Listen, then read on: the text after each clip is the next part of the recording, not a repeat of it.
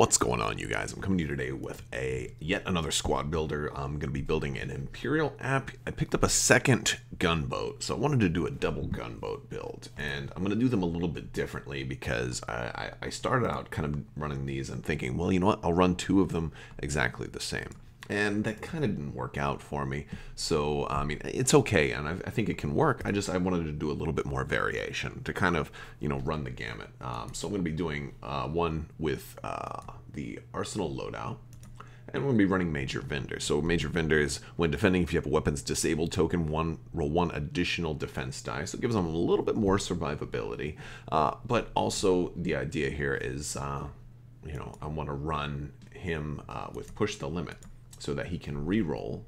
And uh, and basically if he wanted to you know reload and get a weapons disabled token then he could also target lock to be able to take advantage of the token there. Uh, you know so he's he's gonna have a weapons disabled token a lot but he'll still be able to shoot. Uh, so that much is pretty good. So basically the OS1 I get an extra I don't really need the extra icons here although you can use those. Um, but I'm going to just give him harpoon missiles.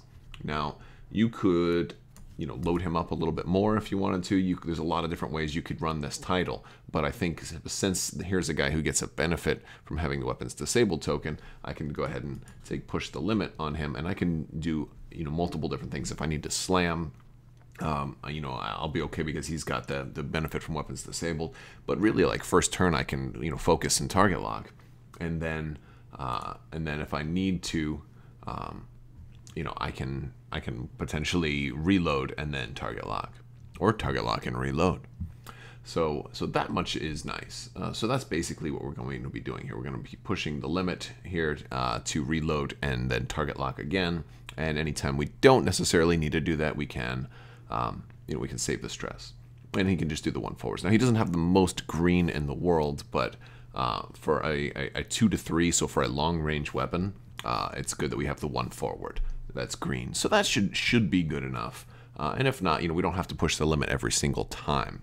Uh, because we get in close range, we're still going to have three dice anyway, so we don't necessarily have to target lock on those on those turns. So what else are we going to do? We're going to run another Star Wing. And the second one, I want to run a little different. I'm going to run the Rho Squadron Veteran, and I'm going to give him the other title. Now, the good thing about the Rho Squadron veteran is that he has the EPT, and he's at PS4, so he's you know he'll he'll he'll go before you know before a lot of your generics, and so we're gonna gain two cannons there. Uh, so one of the things I want to go, I'm just gonna go for the I'm gonna go crazy with the big old heavy laser cannon, and the idea here is because he will suffer against aces because he's not going to have uh, you know the ability to you know to, to predict where they're going to go. So I think I'm I'm figuring this guy's probably going to just focus most of the time. So if he's going to focus most of the time, uh, you know, target locks may be difficult for him. So he won't ever need to worry about that because I'm going to give him linked battery. And linked battery is going to basically, if anytime he's firing from HLC, he's going to get a reroll. And then I'm going to just, I'm going to double down on the rerolls here. Uh, and you don't have to do this, um, but that's what I'm going to do. I'm going to give him Predator. So now he's got two rerolls every turn, uh, potentially three. But uh, yeah, so he's going to always be able to have the, you know, the target lock and focus eh, from a certain point of view. He's always going to be able to have that. And that's not too bad. And these are 35 and 34 points, respectively. So now I, I did think I wanted um, somebody who could contrast this list a little bit. Uh, I wanted to go with a little bit more, um, a little bit more of a uh, you know an arc dodger, and I figured I would go with well, what better than go with the new TIE aggressor. I mean not the aggressor, the TIE silencer. What am I thinking? There we go. There it is. TIE silencer. Um, now, if I wanted to go with Kylo Ren, that would put me over here because I've got, you know, I can, now granted I could drop down some of the stuff. I could, I could drop down the pilots. I could drop from HLC to Mangler cannon. You know, there's all kinds of, and Mangler cannon would actually synergize with harpoon missiles a little bit more. So we could do that. Um, as a matter of fact, let's do that. And but then I'm not going to be able to have Major Vynder there. So you know what? Let's not. Let's just keep it with the heavy laser cannon. And I'm going to go with uh, Blackout because that's a little bit cheaper. He's actually a lot cheaper because you're not paying for all that extra pilot skill. But Blackout's not bad. He's still a PS7. Now we have some free upgrades we can give him, and they're actually both going to work with his ability. Blackout, one thing I like about him is that he's able to, uh, you're able to run him fairly cheap, uh, because Collision Detector I think is going to be really nice, considering that he wants to be so close to those, uh, to those obstacles. Uh, collision Detector is just going to work very, very well. And then Elite, uh, I'm going to give him Trick Shot, because, you know, it's almost the default upgrade on, on Blackout. Um, so he's getting, you know, he's got two free upgrades, and both of them, um, you know, deal with obstacles, which also synergize with his pilot ability. It's it's just perfect.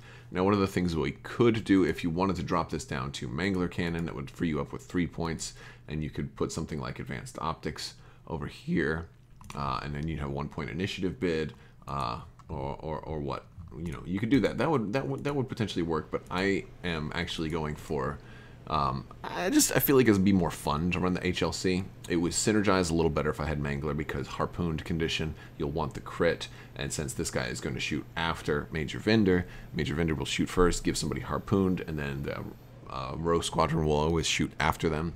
Uh, you know, that that would uh, you know the, the, uncanceled crit is more likely to get through that way. But because we have multiple um, rerolls, we can still get crits with a heavy laser cannon you only have to change your hit crits to hits on the initial attack roll, not on rerolls. So this can still work.